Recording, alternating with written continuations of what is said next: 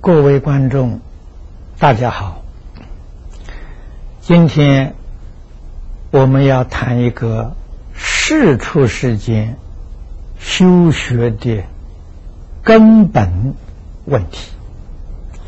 这个问题就是孝道。中国传统的文化建立在孝道的基础上。而大乘佛法呢，也是以此为根基，所以佛法传到中国之后，很快的就能被中国朝野所接受、所欢迎。它是有道理的，在佛家修行，诸位都知道。中国佛教有四大名山、十大道场。十大道场，呃，不是学佛的人呢，未必能说得出。可是四大名山呢，几乎人人都能到出。这四大名山。第一个就是安徽的九华，第二是浙江的普陀，第三是山西的五台，第四是四川的峨眉。哎，诸位必须要记住，这个顺序啊，不能够颠倒，啊，它代表的。有甚深的意思在里面。大乘佛法修学的下手处，就是教我们呢要学地藏菩萨。这地藏呢，它是表法的，啊，就是表示修学的理论与方法。地是说的大地，一切众生，啊，所谓我们今天讲的动物，我们人也是动物之一，一切的动物啊，决定不能够离开大地而生存。大地生长五谷杂粮，来养这些众生。地下有无尽的宝藏，佛以此来表示。我们每一个人的心性，佛说心性呢，就像大地，所以称之为心地啊，心地。心地里面本来具足无量的智慧。无尽的德能才艺啊！总而言之，一切的无量啊，都是我们心性本来去做的啊。所以用地藏啊来表示。那么这些宝藏是埋藏在心底了。就像这个呃金银的呃这些矿物啊啊埋藏在地底下。如果我们不把它开发出来，这些矿石啊，价值就很薄了。如何能把它开采、冶炼，使它成为稀世之珍宝啊？啊，同样一个道理。我们心地里面的宝藏，要用什么方法去开采呢？这个方法了，就是中国古圣先贤跟释迦牟尼佛所说的异口同音呐。主张的孝道啊，由此可知，孝道与私道啊，是开发心地宝藏的一把钥匙啊。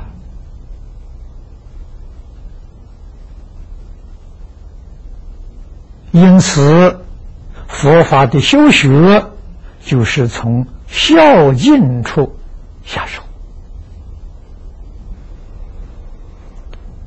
孝敬达到了极处，那就是圆满成佛！由此可知，整个的佛法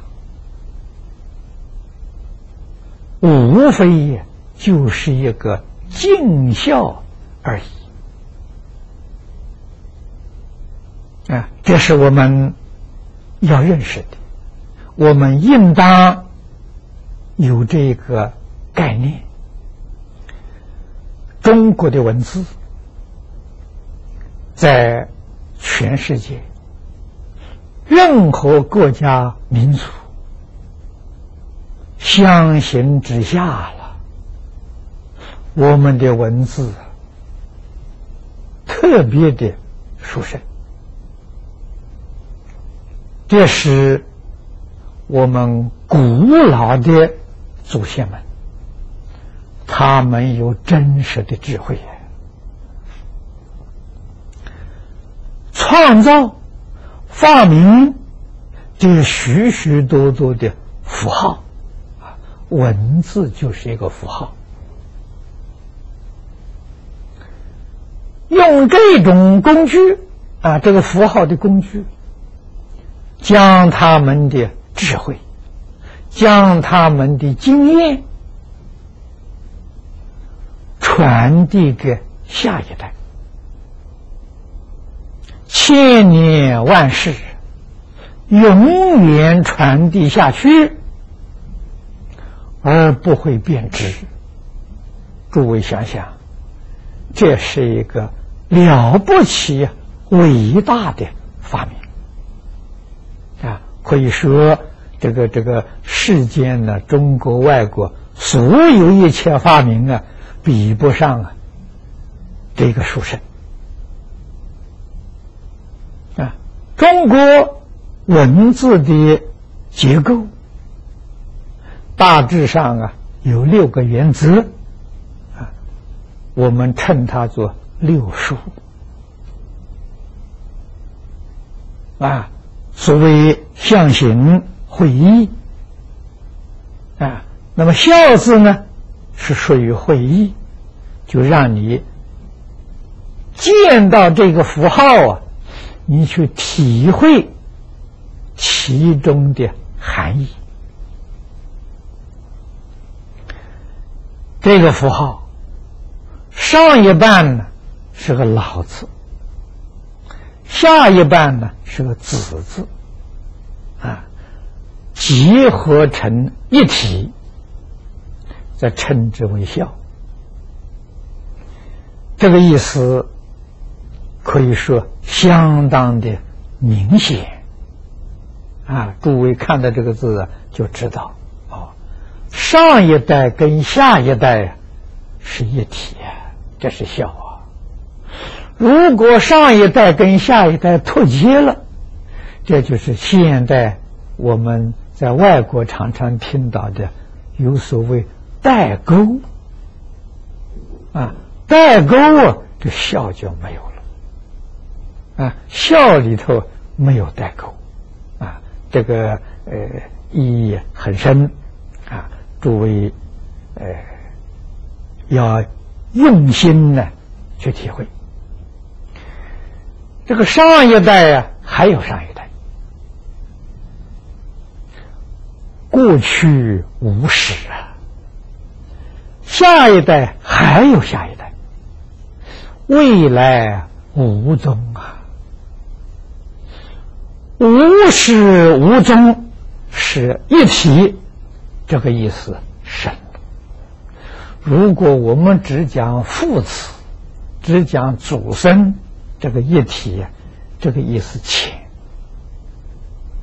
啊，这个范围小，而实在讲它的本意，它的真意是无有穷尽的。从时间上说，过去无始，未来无终啊。是一个整体。从空间上来讲，所谓净虚空变法界，也是一个整体。这才是这个符号啊所含的真意。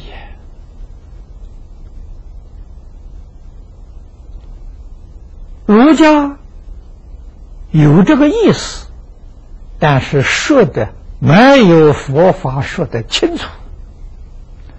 在佛门里面，特别是大方广佛华严经，可以说把这个“孝”字啊说的淋漓透彻。啊，华严承认。虚空法界，无始无终，是自己的本体，是自己的心性。因此，净虚空变法界，一切众生，有情众生也好，无情众生也好，有情我们今天称动物。无情，我们叫它做植物、矿物，跟我们自己是同一个生命体呀。所以佛在华严上才说：“情与无情，同源种质。”啊，也就是说，我们自己哪一天修行成佛了？你观看净虚空变法界，所有一切众生都成佛了啊！这是什么意思呢？这正是《大乘经》上所说的“境随心转”啊，心是能变啊。境界是所变的，虚空法界是境界，啊，境是所变，能所是一，不是二，啊，这个是很深的教义，很不好懂，但是它确确实实是事实的真相。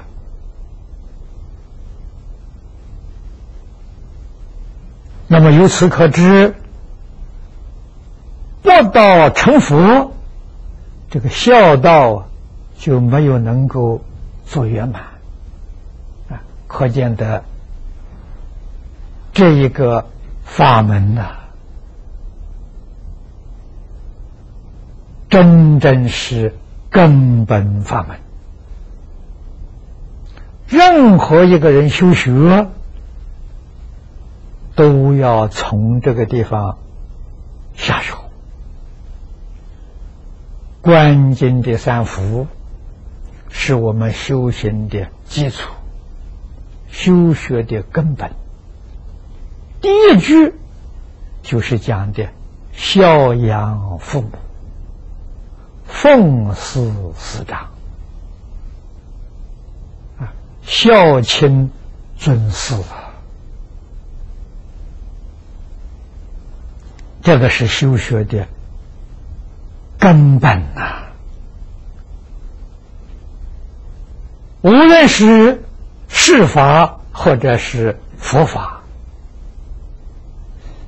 你要想在一生当中获得殊胜的成就，就看你的根基够不够深厚。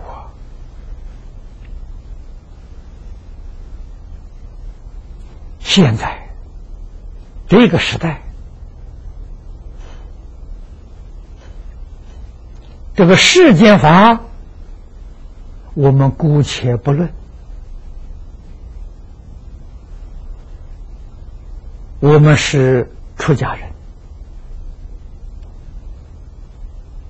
细细观察这一些出家修行人。无论在结门或者在行门上，都比古人逊色太多。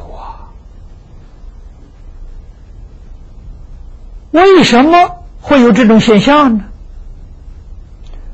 那就是我们呢忽略了基础的修学，也就是。孝亲尊师的修学，所以我们的成果比古人呢就差的太远太远了。这是我们不能不知道的。孝敬要怎么个修法？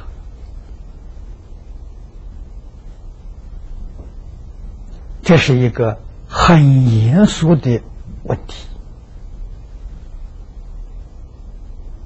这是教育根本的问题。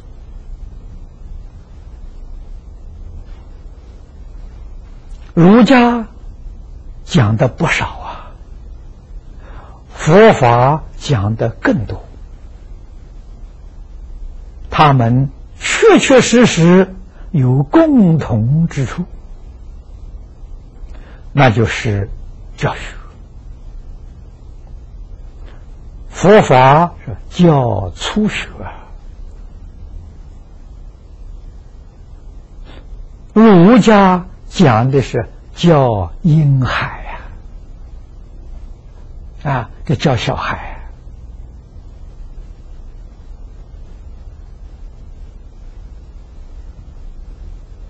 这个事情是有它的难处，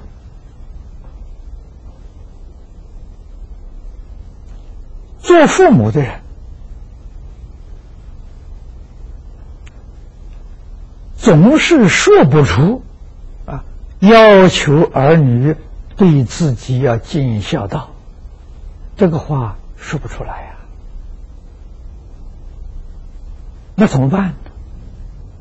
一定要有第三者教导。啊，第三者好说话了。啊，所以教孝亲呢是老师的事情，而老师对学生说：“你要知道尊师重道啊，这个好像。”也很难起构，也说不出来啊！那怎么办呢？这个桩事情啊，一定要父母劝导子弟啊，要教他了尊师重道。由此可知，一个健全的教育、圆满的教学，一定是父母跟老师密切的配合。这个教学才能够收到圆满的成效啊！以这个孝道而论啊，这是老师的责任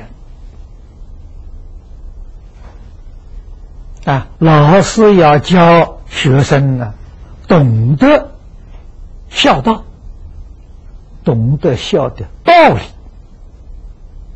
就是刚才讲了，孝道是净虚空变法界是一个整体呀，不能分割的整体。一分割啊，怎么个分割呢？在这整体里面呢，你生起了妄想了，你生起了分别了。你生气执着了，就把这个整体分割了。分割之后啊，那个境界就不是不好了。啊，你看，没有分割的境界叫一真法界，啊，这是佛经里头常说的。一真法界是一个整体。分割之后啊，就变成十法界了。实际上，这一分割了，把这个一真法界就分成无量无边的法界了。而无量无边呢，很难讲啊，啊，在教学里面非常不方便了。所以老师就把。无量无边的境界，把它归纳，归纳为十大类。诸位要晓得，这个十大类是分隔变现出来的境界。这个境界不是正常的境界？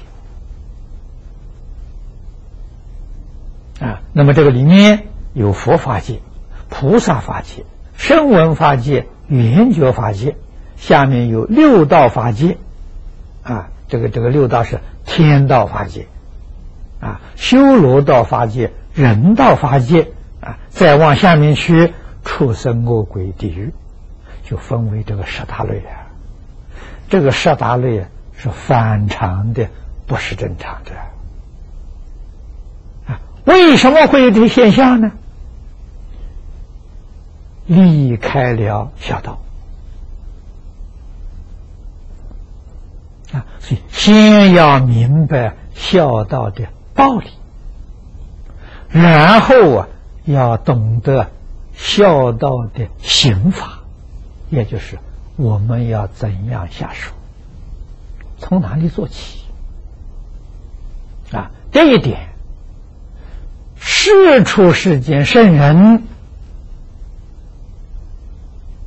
所说的完全相同啊！儒家叫我们从孝顺父母下手，释迦牟尼佛也是叫我们孝养父母做起。啊，你看，这是世出世间的圣人啊，他们。从来没见过面呐，一个在中国，一个在印度啊，啊，他们的看法、说法竟然是一致的，啊，这也许就是谚语里头所说的“英雄所见，大略相同”，啊，也许就是这个意思，啊，所以教育啊。最根本的教育就是教孝啊，教你孝顺父母。孝里面最要紧的是顺呐，啊，我们懂得孝顺这两个字啊，孝是讲理呀，啊，是讲这个道理。我们刚才略略的说过，顺是讲事，啊，在日常生活当中，你要能够啊随顺。父母，这个里面呢，就有难处了。啊，儒家、佛家都讲到，你的父母受过良好的教育，正知正见，那你随顺他一定得意。假如你的父母没有受过好教育，贪嗔痴慢，烦恼习气很深很重，啊，他对你要求、对你期望的都是不如法的。那么我们也能随顺吗？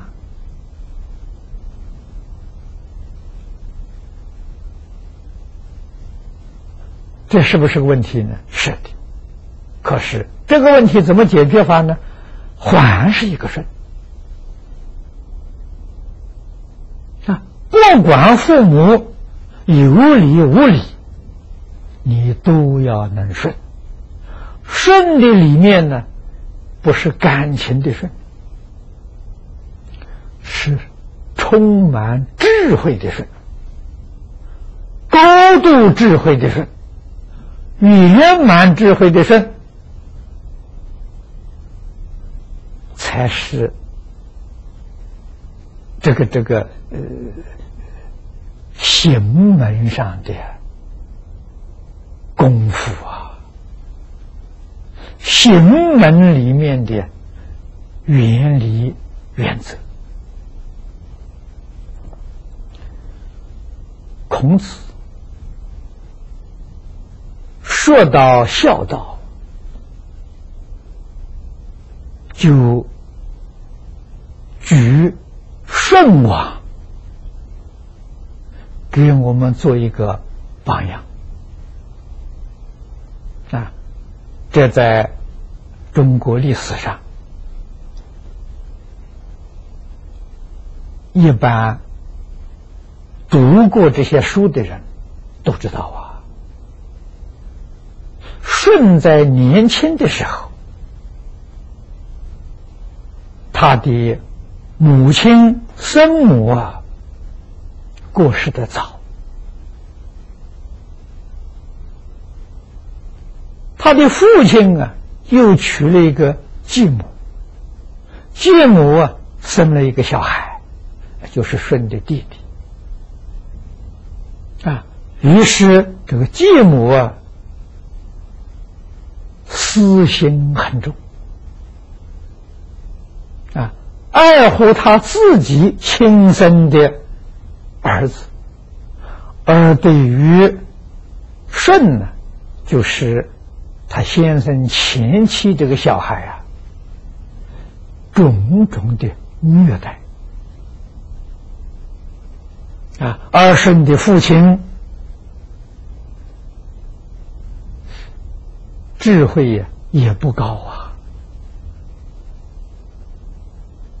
啊，处处听从他后娶的这个太太，于是舜的生活就非常可怜了。啊，继母那是有意的虐待他，他的父亲啊，随从后娶的这个太太。于是也是虐待这个前妻所生的儿子啊，所以他的处境就非常艰难啊，言语造作，动之，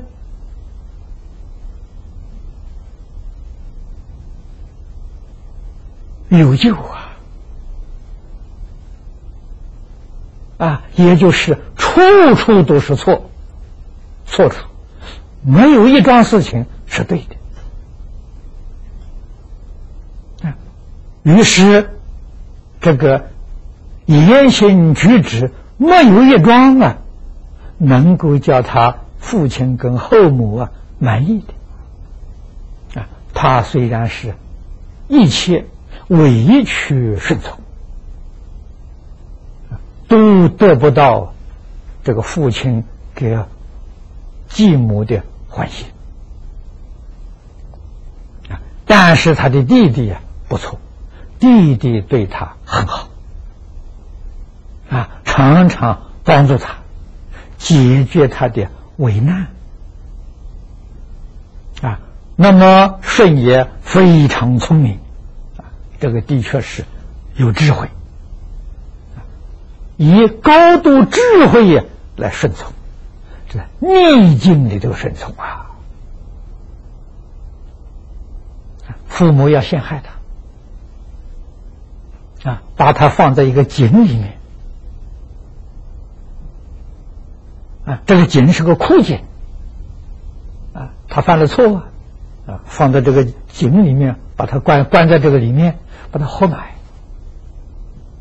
啊，可是顺。早就料到了，恐怕将来有这么一天，所以他预先在井里面呢挖了通道啊，通出去了，是早就想到，啊，所以许许多多次的这个置他于死地的，他都能够避免避过，父母对他这个样子，他还是尽孝尽孝啊，一切都顺从。啊，得到邻里乡党广大人的赞叹。啊，然后得到尧王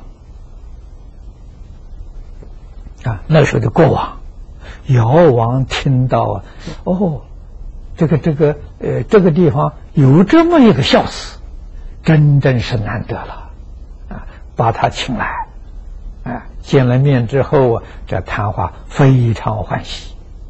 啊，知道他的情况，尧把两个女儿嫁给他，把王位传授给他。他的父母，从此就回心转意，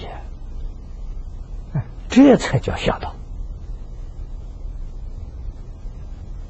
啊，父母再愚痴，也要把他转过来，才叫尽孝啊！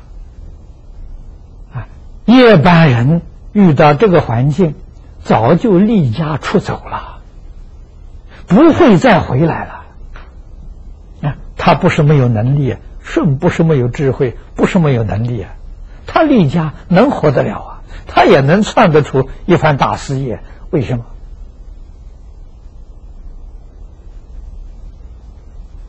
啊，就是为了帮助父母啊，断恶修善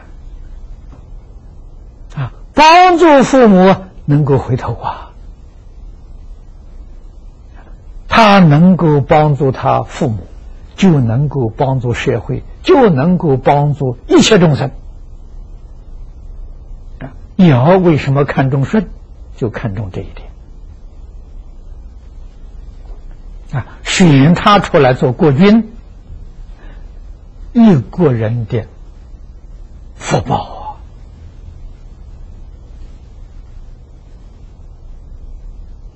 所以中国人讲孝啊，决定不会忘了舜王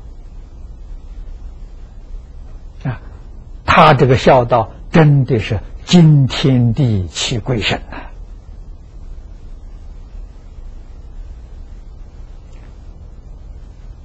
孝养父母，这佛教给我们的那个养跟顺的意思相同。这个意思都很深很深。养不仅仅要养父母之身呐，啊，也就是说，父母的生活起居要常常关心，要常常照顾。啊，这样就算是尽孝了吗？未必。父母物质生活不缺乏了，还有精神生活啊。也就是说，一定要帮助父母长生欢喜心，这是尽孝啊。父母虽然物质生活不愁，可是精神不舒服、不愉快。常常还有烦恼，还有忧虑，啊，这是做子女的不孝。那么他的忧虑、烦恼从哪里来的呢？无非是人事无啊！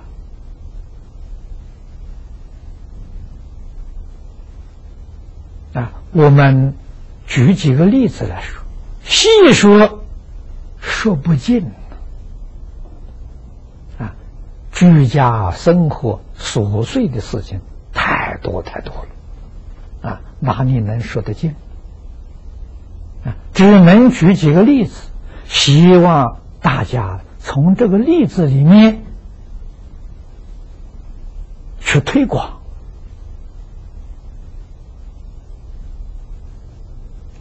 然后。你自然就觉悟了啊！佛家讲了，你就会开悟了啊。譬如父母儿女多啊，总希望着一家和睦，欢欢喜喜，互助合作，这个家就兴旺。家和万事兴啊！如果兄弟不和，你说父母忧不忧虑？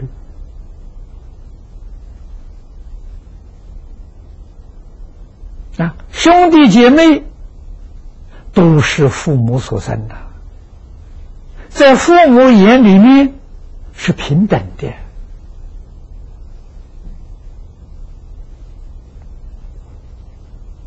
还有这些妯娌之间，这是外来的人啊！儿子娶了媳妇了，媳妇是外来人，不是从小一起长大的，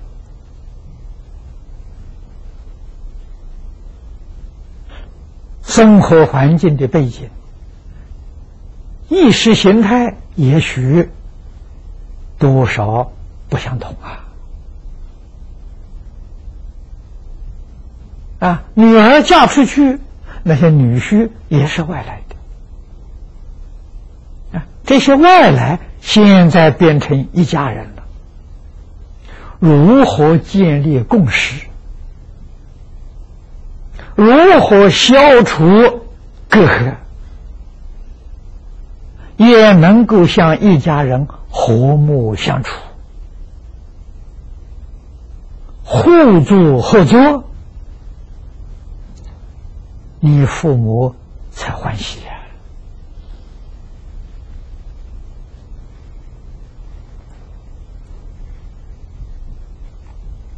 啊，这是一桩事情，我们有没有想到呢？啊，譬如现在我们在这社会上常见的，报纸上、传播媒体上常见的，为了争夺财产，兄弟姐妹不和，往往为这些事情反目成仇。你说做父母的难过不难过呢？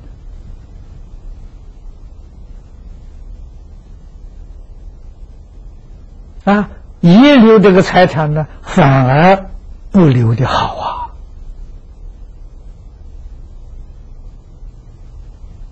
啊，这是大不孝啊！再说，儿女在童年的时候，啊，做父母还在年轻童年的时候，你上学读书。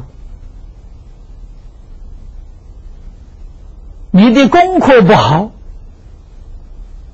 父母操心了；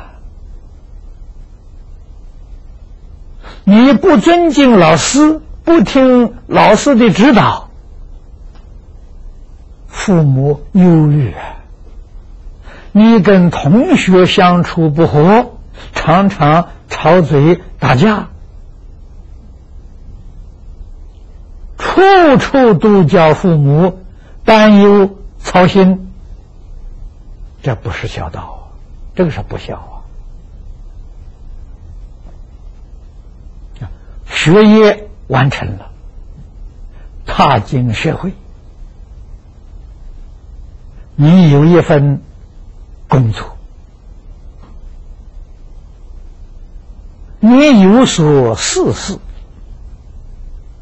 在社会上。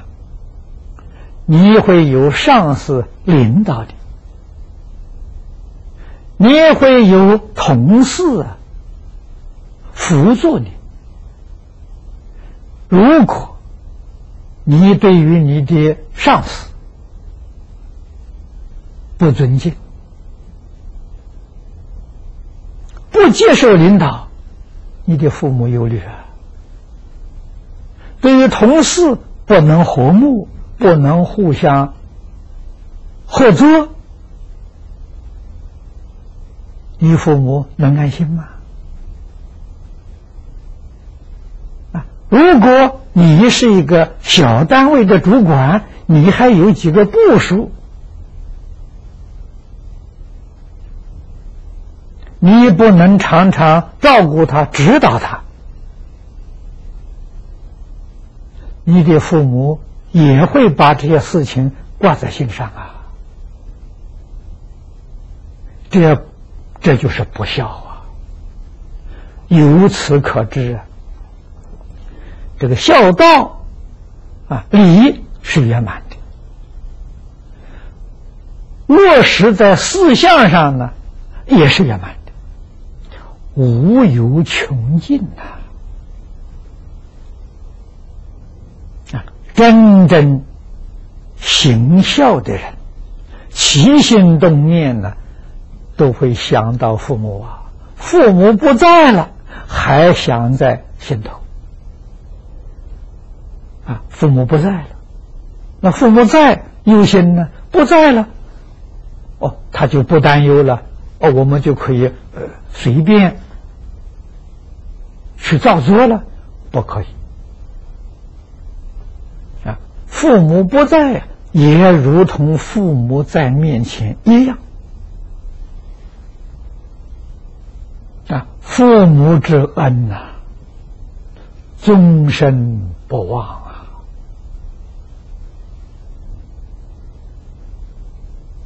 啊，不仅是祭祀的时候祭神如神在，神就是祖先的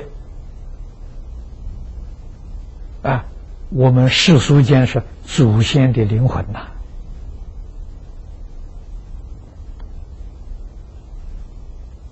啊，无论他有什么有，啊，必须有这一个理念，啊，想着父母常常在身边，常常在看着我们，我们一举一动啊。都要规规矩矩啊，不能有过失，有过失就令父母啊忧心呐。养父母之心啊，让他长生欢喜心啊，那这样也就能算是尽孝了吗？这未必呀。那还有什么呢？父母之志，你懂不懂？父母对你的期望啊，你要不能达到他的期望，你的孝道就不圆满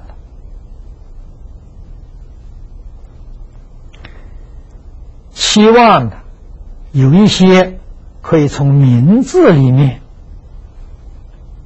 得知啊。但是现代人这个起名字啊，跟中国古人不一样啊。古人这个起名字啊，离不开宗法的制度啊，姓名，这个名字里面呢，一定要显示出辈分。啊，所以中国人呢，名字是三个字，当中这个字是他的辈分，啊，这个不能改的，啊，幕后一个字啊，是在讲呢，就是父母对于这个小孩的期望，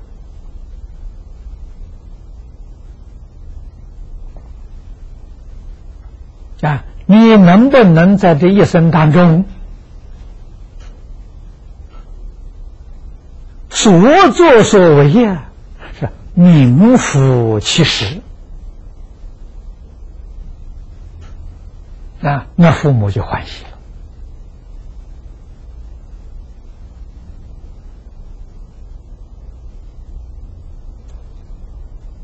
现代人没有这个观念了。你看，很多呃，我们呃台湾同胞给这个儿女起的名字。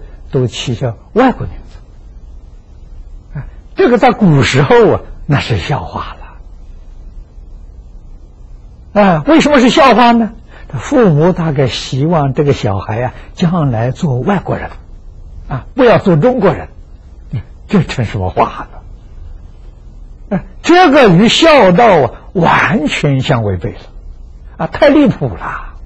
换一句话就是不爱国家，不爱宗族了。啊，去当外国人了，啊，这个是大笑话，啊！但是在现在呢，呃，大家对于命名啊，父母对于儿女的期望啊，实实在在是，呃，跟中国古人呐，呃，有很大很大的差距，可是学佛，那就又不一样，啊，学佛。如果父母也学佛，子女也学佛，那父母对这个儿女啊，希望他将来做佛、做菩萨了。如果他学佛，将来不能做佛、不能做菩萨，你想想看，他多失望了。啊，这一点呢，养父母之志。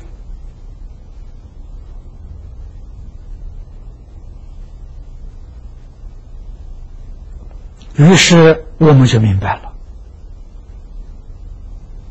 了，啊，父母对于我们有很大的期望啊。在中国古代，父母对儿女的希望，不是希望你做大官发大财，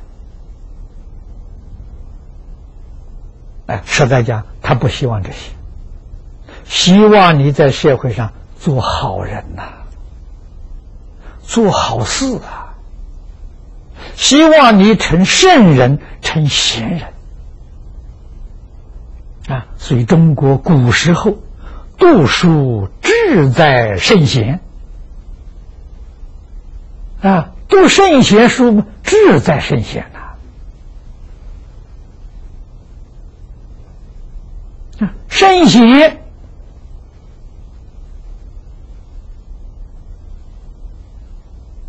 它代表什么意思？啊，在佛门里面，佛菩萨是圣贤，佛是圣，菩萨是贤。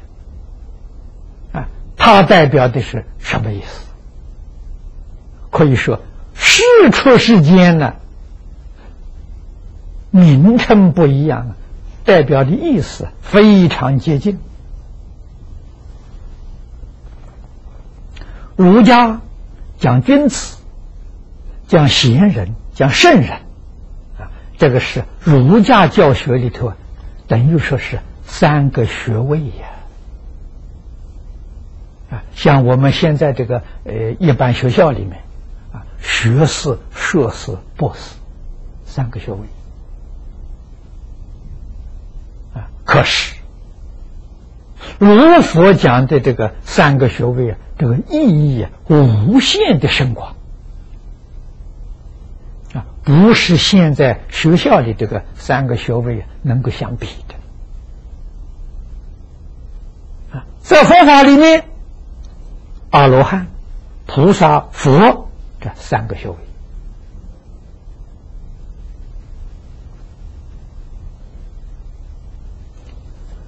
学位是平等的，人人可以拿到啊！啊，但是生活不相同，啊，不一定相同；工作不一定相同，可是。都拿到这个学位，你比如儒家君子。啊，君子可以种田呢，可以做农夫啊；君子可以经商啊，可以做商人呐；君子也可以从政呐，做公务员呐。贤人圣人呢，也复如是啊！啊，圣人可以做政治领袖啊，贤人可以做他的辅佐啊。啊，同样一个道理，在佛门里面，啊，阿罗汉可以可以现视现在各行各业。菩萨也在各行各业。我们在《华严经》上看到，四十一位法身大士，大菩萨不是小菩萨。你看，以男女了呃老幼的身份，啊，从事于各种行业，他是菩萨了。啊，如果他经商，菩萨商人；啊，他做工，菩萨工人；啊，他开呃计程车，菩萨司机呀。啊，他从政，菩萨公务员呐，所以要晓得，啊，志在圣贤呢，意义就完全不相同。啊，那么老师对于学生的期望，跟父母没有两样啊。老师希望学生成圣成贤，老师学呃期望学生成菩萨。成佛，你才能真正为社会、为大众造福。啊，哪一个贤人君子，哪一个佛菩萨是自私自利的，是为个人的呢？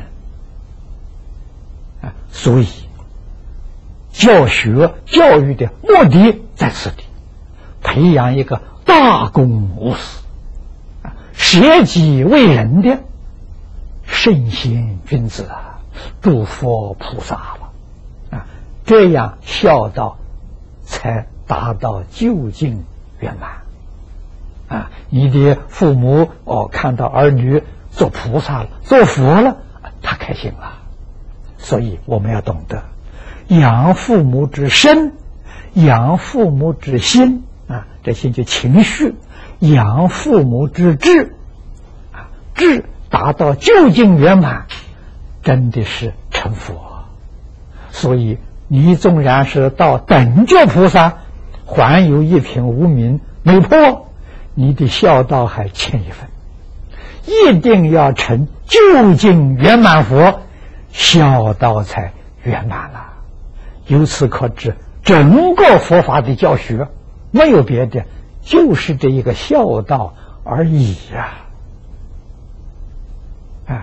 今天时间也到了，我就简单跟诸位介绍到此地，谢谢大家。